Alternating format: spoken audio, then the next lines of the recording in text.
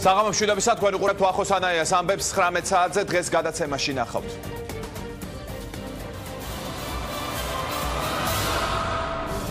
სად და როგორ აპირებს ხელისუფლება ხარჯების შემცირებას?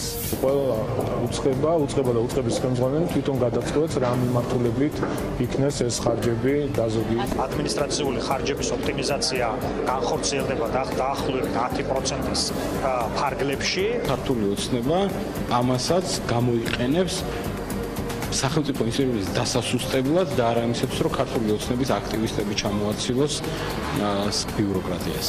ხელფასი, პრემია და სხვა ხარჯები თუ თანამშრომლების რაოდენობა, რის ხარჯზე დაიზოგება ფული?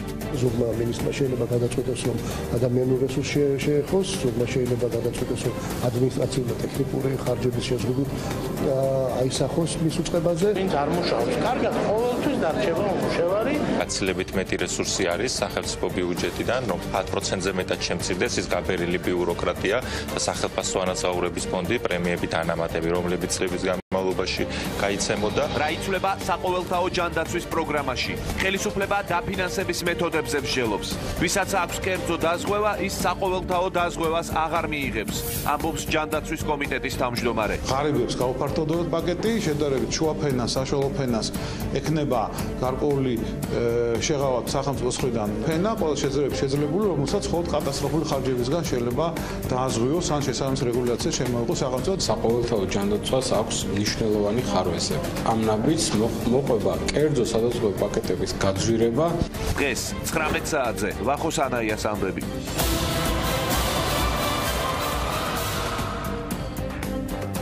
დღეს გადაცემის პირველ ნაწილში ორ თემაზე ვისაუბრებთ. პირველი, რა სახის ოპტიმიზაციას აპირებს ხელისუფლება? რა მიმართულებით იგეგმება ხარჯების შემცირება? მოვისმინოთ ამ თემაზე მთავრობის წარმომადგენელთა და შემდეგ ოპოზიციის კომენტარები. ჩვენ დავაანონსეთ დავაანონსეთ ხარჯების შემცირება ყველა მიმართულებით და კონკრეტული ყველა უცხება, უცხება და უცხების ხელმძღვანელი თვითონ გადაწყვეტს რა მიმართულებით იქნეს ეს ხარჯები დაზოგილი. ადამიანური რესურსებზე შეიძლება იყოს ეს. მე ვფიქრობ, რომ ეს არის ყველაზე ბოლო მიმართულება ადამიანების გაშვება, სხვა მიმართულებებით შესაძლებელია ხარჯების შემცირება და დარწმუნებულად ეს ასეც. ოპტიმიზაცია იქნება, ანუ სადაც გასაძლიერებელი დასამატებელი გვაქვს, დავამატებ, სადაც დასაკლები გვაქვს, დავიკლებ. ჯამში ანაზღაურების ხარჯები და ადმინისტრაციული ხარჯები 10% შემცირდება, ვინც არ მუშაობს. კარგად, ყოველთვის დარჩება მუშევარი 10 წლის მერე 20-ისა და 30. ჩვენი ამოცანაა, რომ ცუდი თანამშრომელი იყოს უკმაყოფილო ყოველთვის და კარგი თანამშრომელი ყოველთვის იყოს უკმაყოფილო. შემცირებას არ დავარქმევდი, უფრო დავარქმევდი ამას ოპტიმიზაციას იმ თვალსაზრისით, რომ თითოეულ თანამშრომელს განესაზღვრება ფუნქცია, განესაზღვრება სამუშაო ადგილი, მათ შორის შეიძლება ახალი სამუშაო ადგილი, მაინდა-მაინც არა ცენტრალურ აპარატში, ასე რომ დრო გვიჩვენებს, ასე ვთქვათ, რა შედეგს მივიღებთ. რომ აღქონას ეს უკვე მენეჯმენტის საქმეა. ზოგმა მინისტრმა შეიძლება გადაწყვეტოს რომ ადამიანურ რესურსს შეეხოს. ზოგმა შეიძლება გადაწყვეტოს რომ ადმინისტრაციული და ტექნიკური ხარჯების შეზღუდვით აისახოს მის უწყებაზე. ამ შემთხვევაში ჩემთანაც აისახება ეს მაგრამ ეს არ შეეხება საკადრო რესურსს ადმინისტრაციული ხარჯების ოპტიმიზაცია განხორციელდება დაახლოებით 10%-ის ფარგლებში ეს არ გულისხმობს საშტატო ერთეულების მნიშვნელოვან შემცირებას. არის ძირითადად ორიენტირი იმაზე, რომ ადმინისტრაციული ხარჯები იქნას დაზოგილი. ეს ეხება როგორც პრემიებს, ასევე სხვა საქონელსა და მოსამსახურებას, რომელიც ადმინისტრაციულ ნაწილში გამოდის. სამინისტროებში ბევრი პროგრამა არის, რომელიც არაფერში არ ჭირდება საზოგადოებას და ხმარდება ისევ ქართული ოცნების ლიდერების გარშემო არსებულ კომპანიებისა და ფირმების ბიზნეს აქტივობას. შესაბამისად, თუ სადმე ოპტიმიზაცია უნდა მოხდეს ამ მიმართულებით და ჯოხი არავითარ შემთხვევაში არ უნდა გადაწყდეს ქვედარგორის სამინისტროების ქვედარგორის თანამშრომლებზე თავრობის მიერ დაანონსებული ადმინისტრაციული ხარჯების შემცირება ერთის ხო არის არასაკმარისი და გაცილებით მეტი რესურსი არის სახელმწიფო ბიუჯეტიდან რომ 10%-ზე მეტად შემცირდეს ის გაბერილი ბიუროკრატია კიდევ ერთი თემა მოსალოდნელი ცვლილებების საყოველთაო დაზღვევაში ხელისუფლება აქაც ახალ მეთოდზე მუშაობს. ვინ ისარგებლებს საყოველთაო დაზღვევით მომავალში? აქაც მოვისმინოთ კომენტარები და შემდეგ უკვე რესპონდენტთან ერთად დავბრუნდებით პირდაპირ ეთერში.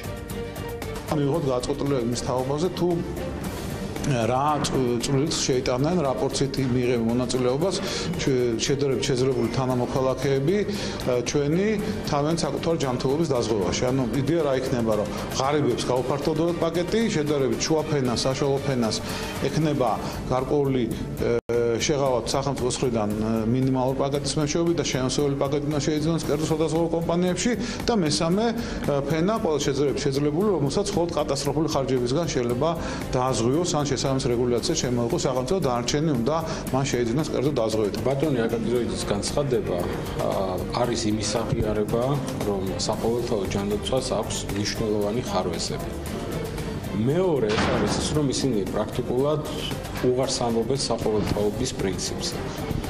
მესამე ეს ნიშნავს იმას, რომ აუცილებლად ამ ნაბიჯს მოყვება კერძო სადაზღვევო პაკეტების გაძვირება და უფრო ნაკლები ადამიანი შეძლებს ისარგებლოს კერძო დაზღვევით, მაგრამ მოქმედებს პრინციპი, რომ ისინი ვერ მოხვდებიან საყოველთაო ჯანდაცვაში. დიმიტრი ხუნდაძე ჯანდაცვის კომიტეტის თავმჯდომარის მოადგილე უპასუხებს ახლა ჩვენს შეკითხვებს. საღამო მშვიდობისა, გმადლობთ რომ მონაწილეობთ ჩვენს გადაცემაში. მოგესალმებით, დიდი მადლობა ჩარტვის, მოგესალმებით ჩვენს ტელემაყურებლებს, გისმენთ ყურადღებით. ბატონ დიმიტრი, რა შინაარსებს ხელისუფლება პირადად თქვენ სიტყვა ოპტიმიზაციაში დღეს ამ კონკრეტულ მომენტში? გულისხმობს თუ არა სიტყვა ოპტიმიზაცია ამ შემთხვევაში მათ შორის ადამიანური რესურსის შემცირება საჯარო სექტორში? კიდევ ერთხელ დიდი მადლობა. ოპტიმიზაცია გაცხადებული მართველი გუნდის მიერ. რა თქმა უნდა არნიშავს ერთმიშოლად თქვათ ცოცხალი რესურსის შემცირებას. რა თქმა უნდა ოპტიმიზაცია უნდა იქნას მართული პირველ რიგში იმ ხრივ რომ სახელმწიფო ინსტიტუტები მათ შორის სამინისტროები ეს იქნება თქვა საჯარო სამსახურები თუ სხვა რა თქმა უნდა უნდა ეფექტურად იმართებოდეს და ძალიან მნიშვნელოვანია იყოს ხარჯ-ეფექტურიც. თუმცა შეიძლება ვთქვათ ეს კონკრეტული უწყების ხელმძღვანელზე, მის მენეჯერობისებზე იქნება დამოკიდებული, თუ როგორ შეძლებს საკუთარი უწყების, საკუთარი სამსახურის ოპტიმიზაციას, თუმცა რა თქმა უნდა გამორიცხვა იმისა, რომ სადღაც შეიძლება ადამიანური რესურსის შემცირება მოხდეს, მაგრამ არა რა თქმა უნდა იმ ხარისხში ეს იყოს წამყვანი ოპტიმიზაციისა, რა თქმა უნდა ასეთი შეიძლება იყოს. თავარია რომ იყოს სახელმწიფო ინსტიტუტები კიდევ მეორე ნებისმიერი სამსახური ნებისმიერი უწყება ეფექტური და ასევე ხარჯ-ეფექტური რომ ის გავიდეს სახელმწიფოს წინსვლაზე და ეს წინსვლა თვითონ მოქალაქემდე მივიდეს აი ეს არის პრინციპი ისე რომ არაფერი განსაკუთრებული არ ხდება ხდება დახვეწა მოდიფიცირება და უფრო მეტი ეფექტურობით მართვა ნებისმიერი სამსახური. როდესაც ხელისუფლებას საყვედურობდნენ იმას, რომ ბიუროკრატია არის გაბერილი, ხარჯები არასწორი მიმართულებით ნაწილდება, ხელისუფლება ამას ყოველთვის უარყოფდა. რატომ დადგა დღეს ოპტიმიზაციის აუცილებლობა, შეგიძლიათ გითხრათ? არა ოპტიმიზაცია 2012 წლის შემდეგ ეტაპობრივად ხორციელდება, თუმცა რა თქმა უნდა, მე ვერ ვიტყვი რომ ყველა სამსახურში ამ პრინციპით ხდებოდა და იყო რა თქმა უნდა გარკვეული გადასტობები ამ კუთხით, მაგრამ მე შემიძლია გითხრათ თქვათ იგივე სამთავრობო გუნდის სახელმწიფო ანაზღაურება რა იყო 2012 წლამდე და რა არის 2012 წლის შემდეგ. მანამდე სახელმწიფო განაკვეთი მთავრობის იყო თვალსდები დაახლოებით 250000 ფარგლებში წლიური და დღეს არის ეს დაახლოებით 118-120 ლარის ფარგლებში. იგივე თქვა მინისტრის ხელფასები იყო გაცილებით მეტი, ვიდრე თქვა დღეს არის. მაგრამ რა თქმა უნდა აქ დასახვეწი არ ამხოლოდ თქვა სახელფასო ნუსხა, არამედ ასევე პრემიერების სისტემები და თქვენ თუ გაიხსენებთ არაერთხელ მე თვითონაც გამიკეთებია ამ თემაზე განცხადება და მოუწოდეთ თუ გახსოვთ ბაღალი თანამდებობის პირებსაც რომ ისინი ყოფილიყვნენ სოლიდარული საკუთარი მოსახლეობის მიმართ და თქვა პრემია არ ყოფილიყო თქვა იმ ტიპის რაც იყო თქვა დროში გაწერილი. პრემია არ იგრძალება ეს არ არის კანონდარღვევა. თანამშრომელი უნდა წახალისდეს თუ ის გამოირჩევა თავისი შესრულებული სამუშაოთი, მაგრამ მას უნდა კონდეს გარკვეული პრინციპი და ის არ უნდა იყოს ხოლმე დროში გაწერილი. ისე რომ ოპტიმიზაცია ეტაპობრივად ხორციელდება, მაგრამ ეხლა რა თქმა უნდა უფრო მეტი გამოკვეთილი მზაობა უნდა იყოს ამისათვის, ისე რომ გავითვალისწინოთ ის რეალობა, რაც დღეს დგას არა მხოლოდ რეგიონში, არამედ თვითონ ქვეყანაშიც და ამიტომ ოპტიმიზაცია უნდა იქნას სწორად გააზრებული, სწორად რა რა რეალობაზე ლაპარაკობთ? ანუ აი რო გავამარტივოთ, თქვენ ამბობთ რომ თავრობას არ ყოფნის ფული და ამიტომ მან უნდა ჩაატაროს ეს ოპტიმიზაცია, რომელიც რას შეეხება? აი ადამიანურ რესურსზე მაინც და მაინც კაფიოთ არ გვეუბნებით ამას, აი პრემიებს, ხელფასებს კიდევ სად უნდა დაიზოგოს ფული, რომ ეს ბოლოს ადამიანურ რესურსს არ შეეხოს მხოლოდ? შეიძლება ადამიანურ რესურსს შეეხოს, მაგრამ პირველი ასე ვთქვათ აა დაწყმა რა თქმა უნდა არ იყოს არ უნდა იყოს ამ კუთხით გაკეთებული რამე თუ შეიძლება შიდა გადანაწილება მოხდეს ისე რომ თქვა გათვალისწინებული იქნას თქვა სამშაო დაკავებული ადამიანებს თქვა უსამსახუროდ არ დატოვება და სამსახურის სწორად იმართებოდეს თქვა იმ რეალური გაწერილი დანახარჯებით რაც შეიძლება რომ ძალიან სწორად იქნას შერჩეული ნებისმიერი უწყების ხელმძღვანელის მიერ. ისე რომ ფიქრობ რომ ეს არის დროში სწორად გაწერილი უნდა იყოს და მე ფიქრობ უნდა იყოს ნაკლებად მტკივნეული ვინმესთვის და თავრე რომ საქმე იყოს ეფექტურად მართული. აი დღეს ითქვა თავრობის წარმომადგენელთა მხრიდან რომ ყველა მინისტრმა თავის უწყებაში ასე ვთქვათ უნდა მოახდინოს ეს ოპტიმიზაცია. ეს რამდენად ლოგიკური და სწორია. არ არსებობს ერთიანი მიდგომა რის მიხედვით ვაკეთებთ ამ ოპტიმიზაციას. როგორი მთავრობა გჭირდება, როგორ რამდენი ადამიანი გჭირდება? ამას ერთიანი მიდგომა არ ჭირდება? არა, რა თქმა უნდა, ეს ვერ იქნება ერთი გამოწერილი რეცეპტი, სხვადასხვა უწყებას, სხვადასხვა თავისი მახასიათებელი სპეციფიკა აქვს, ისე რომ სწორედაც რომ უწყების ხელმძღვანელმა უნდა განსაზღვროს თვალს, როგორ თქვა რა რა ესე იგი სისტემით ააწყოს და რა ოპტიმიზაცია შეთავაზოს საკუთარ უწყებას. ისე რომ ეს არის ინდივიდუალური და გამოწერილი რეცეპტი ყოველასათვის ერთი ვერ იქნება. აა კიდევ ერთი საკითხი, რაც დღეს დაისვა ამ ოპტიმიზაციასთან დაკავშირებით, აი როგორ გაკონტროლდება ეს პროცესი, თავად ამ ოპტიმიზაციის პროცესი, გაჩნდა ეჭვი, რომ შესაძლოა ვიღაცა მოინდომოს, რომ თქვათ ქართული ოცნებისადმი ლოიალურად განწყობილი ადამიანები დატოვოს სამსახურში და გაუშვას ისინი, რომელთა მხარდაჭერაში მაინც და მაინც დარწმუნებული არ არის. ამ პროცესში სირთულეებს არ ელოდებით? არა ეს ეს შეუძლებელია ჯერ ერთი ქართული ოცნებისთვის არ არის מחასიათებელი ასეთი მიდგომა პოლიტიკური ნიშნით შერჩევა ჩვენ ნახეთ ალბათ 20 წლიანი ვთქვათ გამოსილებაც მართველი გუნდისა პარტიის და მეორეს მე მინდა გითხრათო სწორედ ჩვენი გუნდის მიერ და უშუალოდ ჩვენი ჯანდაცვა სოციალურ საკითხთა კომიტეტის მიერ იუსტიციის სამინისტროსთან ერთად იქნა შემუშავებული შრომის კოდექსი სადაც დეტალურად არის გაწერილი 37 მუხში გათავისუფლების საფუძვლები. მანამდე ალბათ გახსოვთ სამთვიანი ხელშეკრულებები როდესაც თანამშრომელი მოდივად იდგა კარებთან სიახლოვეს და პოლიტიკური ნიშნით ხდებოდა შერჩევა წინა საარჩევნო თქვათ გაზდა შტატებისა და არჩევნების შემდეგ გააცხრილვა და შეფასება პოლიტიკური წავსის მიხედვით. ეს გამორიცხულია მაგრამ რა თქმა უნდა სასამართლო პროცესად ფიქრობ ახლა მეტა თავისუფალია სასამართლო იცით რომ გამართლებელი განაჩენები ამ კუთხითაც იყო ძალიან დაბალ პროცენტში პრაქტიკულად არ იყო. არც არავინ მიმართავდა სასამართლოს ამ კუთხით იმიტომ რომ არანაირი პერსპექტივა ვთქვათ მის მცდელობა საკუთარ უფლებების დაცვისა არ ქონდა მაგრამ დღეს ალბათ ხსმენია თქვენს რომ ვთქვათ გათავისუფლებული ესა თუ ის თანამშრომელი სასამართლოს შემდეგ იქნა აღდგენილი. ისე რომ აქ კაუნტებლების დონეზე დარეგულირებულია საკითხი ერთი რომ არ არის ამისი თქვათ განწყობა მართლ გუნდში რომ პოლიტიკური ნიშით იქნას შერჩეული და კანონმდებლობაც ამ კუთხით უკვე კარგახეს მომზადებული გასაგებია. ბატონ დიმიტრი ჩვენ ვიდრე ვიდრე გადავალთ ვიდრე გადავალ დაზღვევის საკითხებზე. ჩვენ ყავს აქ ჩვენ სტუდიაში სტუმარი ვახტანგ მეგრელიშვილი რომელიც შემოგვიერთება თქვენ შეგიძლიათ მას მოусმინოთ და შემდეგ თუ კი სურვილი გექნებათ პასუხიც გასცეთ საღამო მშვიდობისა ბატონ ვახტანგ დიდი მადლობა გადაცემაში სტუმრობისთვის. თქვენც მინდა დაგის გისვათ შეკითხვა უპირველეს ყოვლისა ოპტიმიზაციასთან დაკავშირებით, რომელსაც აანონსებს თავრობა. რჩება შტაბეშტილება, რომ თავრობა ცდილობს თანხების დაზოგვას, მაგრამ მე დავსვი კიდეც ეს შეკითხვა და თქვენი პასუხიც მაინტერესებს. რამდენად სწორია აქ მიდგომა, როდესაც უწყებების ხელმძღვანელებს აძლევენ აქვთ დავალება, ან თავად უნდა გადაწყვიტონ, რომ სადღაც მოახდინონ თავის უწყებაში თანხების ოპტიმიზაცია.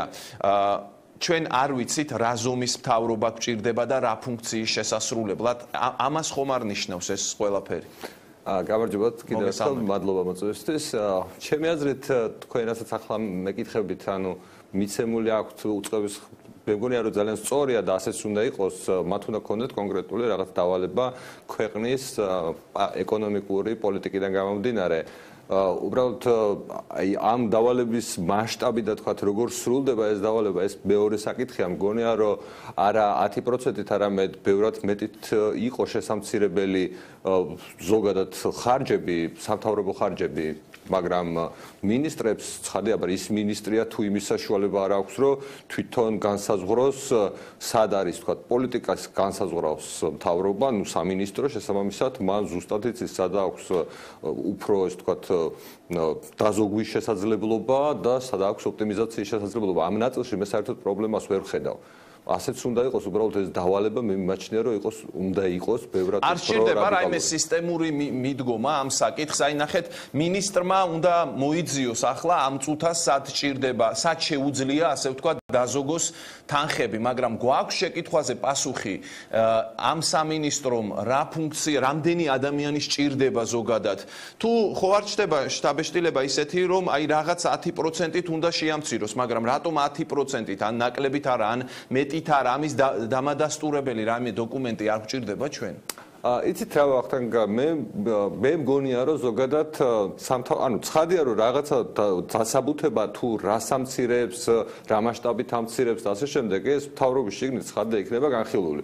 მაგრამ თქვათ თავრობას და სამინისტროებს კონკრეტულ სამინისტროებს მოთხო წინასწარ მიცეს ვიღაცამ დავალება რომ შენ აი ეს ეს ეს უნდა გააკეთო. უბრალოდ ამის არანაირი რეალური შესაძლებლობა ბუნებაში არც არსებობს. არავის ის ცოდნა არ გააჩნია რომ კონკრეტულ სამინისტროებს მიუთითოს სად გააკეთოს ოპტიმიზაცია და მე ამ მიდგომას ზოგადად ვემხრობი და მგონია რომ თავარია რომ თავრობას ქონდეს ეკონომიკური ხედვის ხედვა ისეთი რომ ჩვენ დღეს თქვა გვჭირდება რომ თავრობამ დახარჯოს არაუმეტეს აი ამდენი თანხის. ამისთვის რომ ჩვენ ამ მიზანს თავარ მიზანს მივახციოთ გამოდის რომ სამინისტროებმა თქვა ასე უნდა შეაცილონ ცხადია შიგნით ამ სამინისტროების შიგნით აი 10%-იანი შემცირება მე არ მესმის.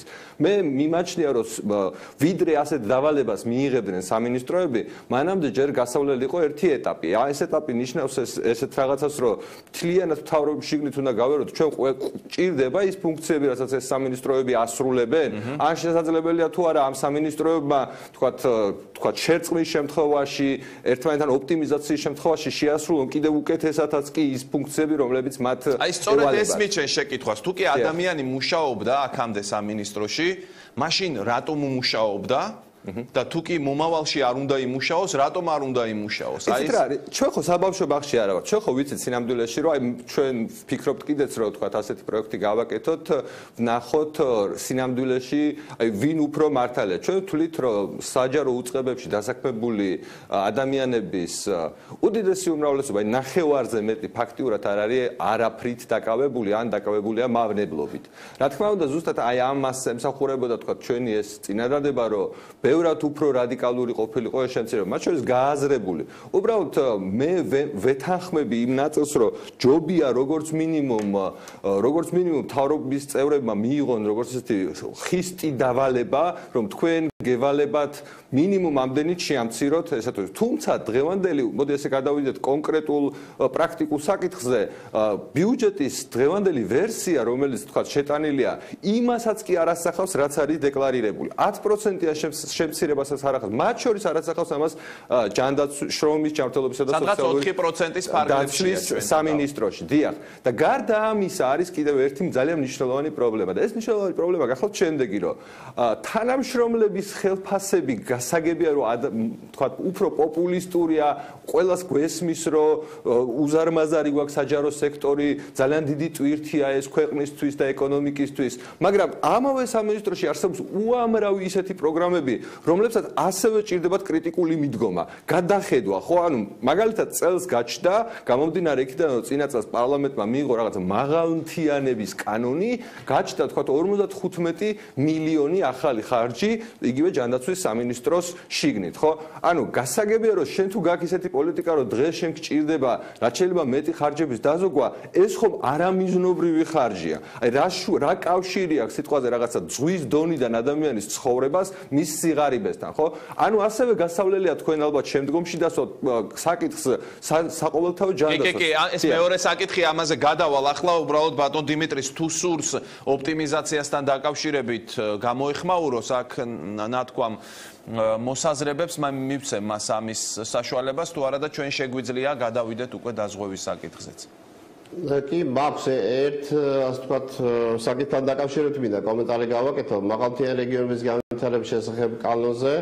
რაღაცა ისე იქნა მოხსენიებული ერთ-ერთი ძალიან მნიშვნელოვანი გამოპროექტი მე ვიტყოდ ეს არის ფიზის გარჩენის კანონი. მე მინდა შევახსენო ჩემს ოპონენტსაც და მაყურებლის გასაგონადაც მინდა კიდევ ერთხელ ვთქვა რომ ქვეყანა დგას დემოგრაფიული პრობლემების წინაშე სხვათა შორის მაღალმთიანი რეგიონები არის დაცლილი და სწორედაც რომ ბოლო 30 წლის განმავლობაში არავის ყურადღება არ მიუქცე, მიუქცევი ამ საკითხთან დაკავშირებით, იმიტომ დგას წავედ ეს პრობლემა და პრაქტიკულად არა დაბალანსირებული რეგიონალური პოლიტიკის წყალობით მივიღეთ თბილისიზაცია, როცა მოსახლეობის უდიდესი ნაწილი ცხოვრობს თბილისში, ისე რომ მთის განვითარების შესახებ კანონი, სადაც იქნა გარკვეული სოციალური პაკეტი შემოტანილი, ეს არის ძალიან მნიშვნელოვანი და მე ვფიქრობ ეს კიდევ უფრო ადრე უნდა დაწყებულიყო და შედეგი არ ექნებოდა ის, რაც იყო კიდევ ერთხელ ვამბობ 2002 წლის შემდეგ მაღალმთიანი რეგიონებში დაახლოებით 230 სოფელი პრაქტიკულად აღარ არსებობს.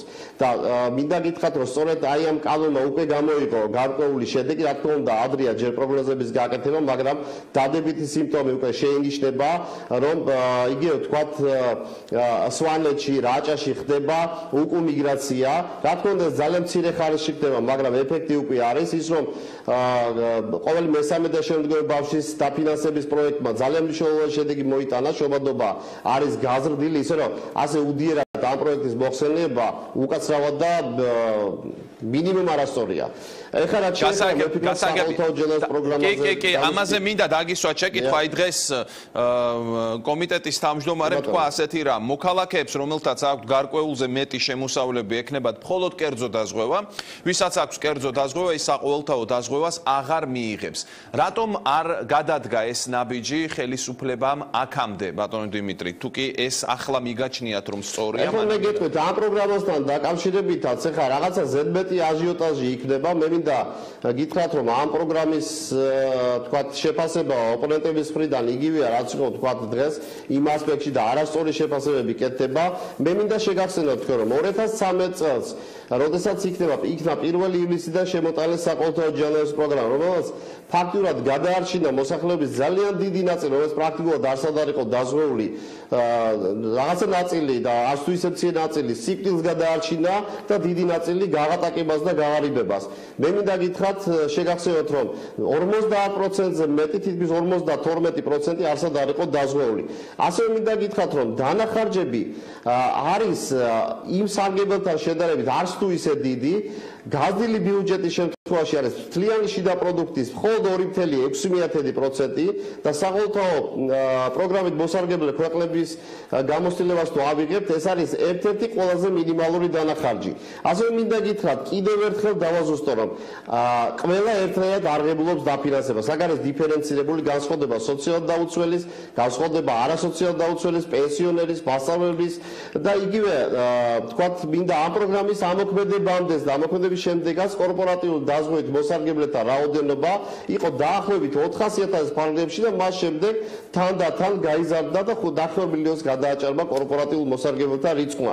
აქვე მინდა დავაზუსტო, რა თქმა უნდა, ეს პროგრამა საჭიროებს მოდიფიცირებას და თქვენ შეგიძლიათ ამოიღოთ ჩემს მიერ, ასევე სერგეენკოს მიერ გაკეთებული განცხადებები თქვენ ტელევიზიითაც დიდი ძება არ დარჩიდება, თორე ხშირად ვახსენებდი ამას. ჩემს ეთერშიც გითხრათ თქვენ ამის შესახებ მოდიფიცირების შესახებ. იყოს დამამთავრებიეთ, დამამთავრებიეთ უკაცრავად. ყოველთვის ვაცხადებდით, რომ უნდა იყოს პირველი ჯანმრთელი გააქტიურებული. ის რომ სტაციონარს 80% არ უნდა აკითხავდეს და ამისათვის საჭირო პოსტდიპლომური განათლების რეფორმირება, რომ გაიზარდოს ექიმთა სანდოობა პაციენტების მხრიდან. ეს გაცხადებულია დიდი ხნის წინ, მაგრამ რა თქმა უნდა, პირველი ეტაპი საყოველთაობის ამ პროგრამის წყალობით იქნა მიღწეული, მაგრამ ხარისხობრივ მაჩვენებლებზე ჩვენ ზრუნვა უკვე დავიწყეთ. ამ პროგრამამ იმ დროისათვის საჭიროების მიხედვით ძალიან დიდი როლი შეასრულა. მე შეგახსენებთ, იმ პერიოდისათვის ქვეყანაში ქრონიკული დაავადებების მაჩვენებლით საქართველოს იყო ერთ-ერთი სამწუხაროდ ერთ-ერთი წამყვან ადგილას. რა თქმა უნდა მოსახლეობაში დაგროვილი იყო ის რომ ეკიპთან ვერ მიდიოდნენ სტაციონს ვერ აკითხავდნენ ეს პირველი ასე ვთქვათ ეტაპი არის ჩავლილი, ამიტომ ჩვენ ახლა უნდა გადავიდეთ რომ მეტად მიზნობრივი იყოს ის ხარვეზები, მაგალითად ის რომ კორპორატიული მოსარგებლე ბენეფიციარები რომელიც შემდეგ უკვე სხვა სხვა მიზეზის გამო კარგავდნენ ამ დაზღვევას ან გადიოდნენ ამ მომსახურებიდან და ისინი საყოველთაოში მხოლოდ საბაზისო პაკეტს გასაგებია ბატონ დიმიტრი მე მე უნდა გავანაწილო დროს სწორად კიდევ მოგცემ შესაძლებლობას კიდევ მოგცემ შესაძლებლობას. ერთი შეფასებით მინდა ერთი სიტყვით მინდა გითხრათ, არაფერი განსაკუთრებული არ ხდება. ამ პროგრამის მიმდინარეობა მიდის ისე როგორც იყო დაგეგმილი, უბრალოდ ეხლა უფრო მეტად უნდა იქნას მიზნობრიობა და უნდა იქნას მეტად ხარისხობრივი მაჩვენებლები აქცენტირებული და იყოს ეფექტური და უფრო მეტად ხარშეფექტური ეს პროგრამა. გასაგებია, გასაგებია. იქნება შენარჩუნებული. გასაგებია, ბატონ ვახტანგ, აი მე მახსოვს რომ ოპოზიცია მოუწოდებდა მიზნობრიობასთან დაკავშირებით ხელისუფლებას, ასევე რაც ბატონმა დიმიტრიმ თქვა, ეს ნამდვილად ასეა, რაღაც გარკვეული პერიოდის წინ, მათ შორის ჩვენს ეთერშიც, მასაც და სხვასაც ნათქვამი აქვთ, რომ მოდიფიცირება საჭირო გახდებოდა. არგუმენტი იმის შესახებ, რომ ამ პროგრამამ თავისი როლი შეასრულა და ახლა დადგა მოდიფიცირების დრო, ეს არგუმენტი თქვენ მიერ იქნებოდა გაზიარებული დღეს. ა თუ შევერთ სამი შევეხები სოფლის პროგრამასაც ზეგანაზეც უკვე კომენტარს გავაკეთებ. კი ბატონო. საქმე რაშია, რომ 4 წლის განმავლობაში მე დამეთახმებით თქვენს და ჩემი ოპონენტით საუბრობდი იმაზე, რომ არის რამოდენიმე პრობლემა ამ ჯანდაცვის საყოველთაო ჯანდაცვის პროგრამაში. ერთი არის თქვა ბენეფიციარების შერჩევა. ხო, ბენეფიციარების შერჩევა ნიშნავს იმას, რომ ვიღაცამ უნდა გადაწყვიტოს, რომ ვისი დახმარება არის საჭირო და ვისი დახმარება არ არის საჭირო. აქედან გამომდინარე, აი 4 წლის განმავლობაში საუბრობდით ამ თემაზე და 4 წლის თავზე ეხლა ბატონი დიმიტრიც ამბობს, რომ აი ეხლა დამდგარად ზუსტად ის დრო, როდესაც აი ეს რაღაცა შერჩევა უნდა დაიწყოს სახელმწიფო. ამ პერიოდის განმავლობაში რა მოხდა? ამ პერიოდის განმავლობაში ჯერ იყო რაღაც 100 მილიონი გადაიხარჯა წელ წელს უკვე 90 მილიონი კიდევ დაემატა, ანუ რეალურად ჯანდაცვის ხარჯები მუდმივად მუდმივად იზრდება. იგივე პერიოდში ჯანდაცვის ინფლაცია არის ერთ-ერთი ყველაზე უფრო მაღალი თელს თელს ეკონომიკაში. და აი ახლა მოდი დავიმახსოვრეთ თუ გნებავთ სოფლის თუ ის მაღალმთიანი თუ რაღაც რეგიონების განვითარების პროგრამას. მე პირადად ვაფასებს როგორც აბსოლუტურ სისულელეს, აი აბსოლუტურ ფულის ყრას, რომელსაც არც არანაირი შედეგი არ ექნება. და აი 4 წლის მერე ალბათ შეიძლება 4 წლის მერე ან შეიძლება შეიძლება უფრო მალეც, მე იმედი მაქვს რომ უფრო მალე, იგივე მთავრობა, იგივე ასე ვთქვათ ადამიანები გამოვლენ და იტყვიან რომ ეხლა რაღაცა საჭიროა რაღაცის მოდიფიცირება, როდესაც ძალიან ძალიან ნათელი გახდება, რომ ეს გახლავთ სისულელე და ფულის გადაყრა.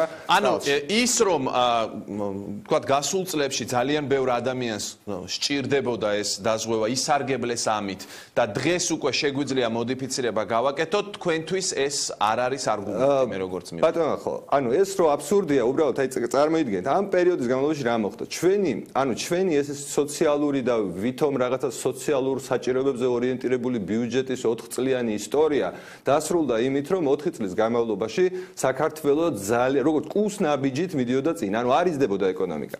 იმისთვის რომ ადამიანებმა მიიღონ ხარისხიანი ჯანდაცვა და მიიღონ ნორმალური ანუ ის ჯანდაცვა, რომელიც თქვა ჩვენ თელს მოსახლეობას უნდა, ამისთვის საჭიროა არა ბიუჯეტიდან ამაში ფულის ჩაყრა, არამედ საჭიროა ის, რომ 500.000 ადამიანის კი არ შეეძლოს საკუთარი თავისთვის კერძო დაზღვევის შეძენა. არამედ შეეძლოს ბევრად მეტ ადამიანს. ანუ საქმე იმაშია, რომ ჩვენ ღარიბები რო ვართ, ეს არის პრობლემა და თუ ეს პროგრამა, რომელიც თქვა აი ასე ასე ახასიათებს ბატონი დიმიტრი რო რაღაცა დიდი წარმატება იყო, ხელს უშლის ჩვენს გამდიდრებას, ჩვენს ეკონომიკურ წინსვლას, მაშინ უკაცრავად და მე ვერანაირად ვერ დავეთანხმები რამე შეფასებას, მაგრამ ამ გარდა ამ ბენეფიციარების შერჩევისა, ამ პროგრამას აქვს რამოდენიმე პრობლემა კიდე. პრობლემა მდგომარეობს უკვე ინსტიტუციურ პრობლემას გულისხმობ. ინსტიტუციურ პრობლემა მდგომარეობს ამ პროგრამის იმაში, რომ სახელმწიფომ გამოართვა ეს დაფინანსების მერკეტები კერძო სექტორს თავის თავზე აიღო და დაიწყო ამ უზარმაზარი პროგრამის ადმინისტრირება. ამ უზარმაზარი პროგრამის ადმინისტრირების პრობლემა არის ის, რომ სახელმწიფოს არ შეუძლია აკონტროლოს ქსელი, რომელიც ერთადერთი მიზანი არის, რომ რაც შეიძლება დიდი რაოდენობით ფული გამოწოვოს სახელმწიფო ბიუჯეტიდან. რაც შეიძლება, როდესაც ამაზე არის ორიენტირებული ქსელი, არ ვიცი, მაშინ ჩვენ უნდა ვიყოთ რაღაცა სტალინისტური ქვეყანა, რაღაც ტოტალიტარული რეჟიმი, სადაც ადამიანებს დახვრეტენ იმის გამო, რომ მათ რაღაც გასაგები, ანუ ეს მიგაჩნიათ სერიოზულ ხარვეზად. აი ამ ეტაპზე, აი ამ ეტაპზე, როდესაც გარდა ამ პრობლემის, აი ამ ეტაპზე, როდესაც გადაწყვიტა ხელისუფლებამ რომ მოდიფიცირება გაუკეთოს ამ პროგრამას. კიდევ რა გამოწვევებს წააწყდება თქვენი აზრით? ეს სწორი მიმართულებით გადადგმული ნაბიჯია ნებისმიერ შემთხვევაში, ანუ თუნდაც ის, რომ აი უბრალოდ იდეა შემოვიდეს, იდეაც ძალიან მნიშვნელოვანია, მიუხედავად იმისა, ხა ჩვენ მოგწონს თუ არა ამ იდეის განხორციელების თქვა რაღაცა კონკრეტული ტექნიკური რაღაცები, უბრალოდ ის, რომ ვიღაც ადამიანებს სახელმწიფო უბრალოდ არ არის საჭირო რომ ეხმარებოდეს, ანუ ყოველას ფული გამოვართვა და მე ყოველას ეს ფული ჩვენ თვითონ რაღაცა უკან მოვახმაროთ, ეს სულელური აზრი, რომ დასრულდა ამ ქვეყანაში და თქვა ვთქვათ, მე მე ვფიქრობ, რომ კაკიზოიძის განცხადებიდან გამომდინარე, რომ ამაზე როგორც ჩანს შეჯერდნენ, ეს ერთმნიშვნელოვნად არის კარგი. ამის შემდეგ შეიძლება კიდე სხვა ნაბიჯები გადავდგათ და ვთქვათ, რომ კერძო დაზღვევაში არიან ადამიანები, რომლებსაც ეს კერძო დაზღვევის პაკეტი აქვთ ძალიან უმნიშვნელო, იმიტომ რომ კი არის კორპორატიული დაზღვევა, მაგრამ ეს ადამიანები სულაც არ ნიშნავს იმას, რომ შეძლებულები არიან და პირიქით არსებობენ ადამიანები, რომლებიც არიან ძალიან შეძლებულები, მაგრამ საერთოდ არ ჭირდებათ ან არ აპირებენ რომ დაეზღვიონ კერძო სექტორში და შესაბამისად მათთვის 100 ასევე არის ვიდრე ბატონ ვიდრე ბატონ დიმიტრისთან გადავალ ერთ შეკითხვასაც მოვასწრებთ ესე იგი ითქვა კომენტარებში ვიდრე თქვენ შემოგვიერთებოდი ჩვენ ოპოზიციური პარტიების წარმომადგენელთა კომენტარები გავუშვით რომ ახლა ამ პროცესში გაძვირდება კერძო პაკეტები თქვენ ეთანხმებით ამ მოსაზრებას? ნუ ერთმნიშვნელოვნად ასე იქნება გამომდინარე იქიდან რომ თუ მაგალითად რამდენადაც მე მესმის კერძო სადაზღვევო კომპანიები იმის გამო რომ ხო თქვა ხარჯები და ეს ზოგად ცდილობდნენ რომ მას მერე ჩართულიყვნენ უკვე დაფინანსებაში რაც უკვე რაღაც საყოველთაო ჯანდაცვიდან თქვა ფინანსების ფინანსური რესურსი ამოიწურებოდა კონკრეტული პაციენტისთვის ხო? შესაბამისად თუ უკვე გაიმიჯნება საყოველთაო ჯანდაცვა და კერძო დაზღვევა ერთმანეთისგან ცხადია კერძო კომპანიები აწევენ ფასებს. ეს ძალიან ბუნებრივი ამბავია. ხო ორჯერ 2.4-ას ამბავია. ხო ანუ არაფერი რთული ამაში არ არის. მაგრამ მეორე მხრივ ეს მაინც მნიშვნელოვანია იმიტომ რომ ეს საერთოდ კორუფციის და გაუგებრობის თელ ბუკეტს წარმოშობს თუ ეს მდგომარეობა იქნებოდა შეგარჩუნებული. გასაგებია. კი ბატონ, ჩვენი გაცემის ეს ნაწილი სრულდება და ბატონ დიმიტრის მივცემ დროს გამოხმაურებისთვის რა აქცენტებიც მას სურს რომ დასვას თავის ოპონენტის ნათქვამთან დაკავშირებით ამის შესაძლებლობა აქვს. კი, ჩემს ოპონენტებთან ამ თემასთან დაკავშირებით არაერთხელ მქონია საუბარი ბატონ ვახტანგთანაც, ცოტა მე მიგვირს თუ თქვა ისეთ თემატიკაზე რაც არ შეიძლება ასეთი შეფასებები იგივე თქვა ბაღალთია რეგიონის განვითარების შესახებ კანონზე რასაც თუ არ ვწდები, თუ ვწდები და ასე მომესპა, არ ვიცი, სულელური კანონი უწოდა. ეს არის ფის გადარჩენის კანონი და მაშინ მოდით მთიელებს, მთიელებს ვკითხოთ ახლა, რამდენად სასარგებლოა ეს კანონი მათთვის და დემოგრაფებს ვკითხოთ, რამდენად აუცილებელია, ვთქვათ, იმ პრობლემების მქონე ქვეყნისათვის დემოგრაფიულ პრობლემებს გულისხმობ, რა პრობლემებში დღეს ქვეყანა არის და ვფიქრობ, საყოველთაო აღწერის შედეგებად საჩვენა, რომ თითქოს 4 მილიონი ნახევარი ვიყავით, მაგრამ ამ დროს ვართ 3.7 მილიონი.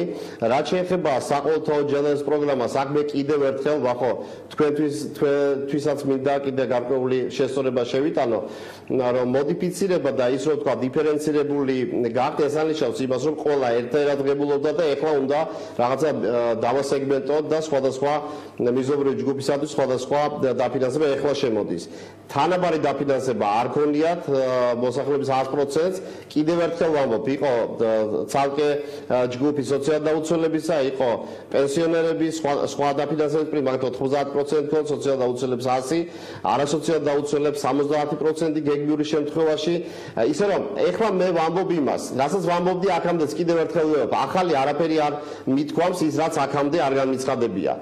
აა პირველი ეტაპი ამ პროგრამისა საყოველთაობისა და საჭიროებისა იმ დიზაინით რა ფორმითაც იყო შემოთავაზებული გავლილია, ეხლა საჭირო რომ უფრო მეტად დიფერენცირებული იყოს. ანუ შეიძლება ეს უკვე ტექნიკის საკითხია, შეიძლება ეს იყოს თქვა ხელფასთან მული თანადაფინანსების პროცენტული თანაფარდობა.